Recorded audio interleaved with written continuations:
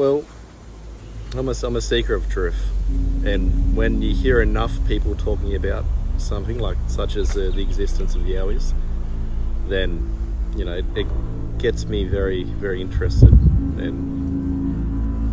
you know, my with, with, with what I've heard, I definitely believe that there's, there's a possibility that they do exist.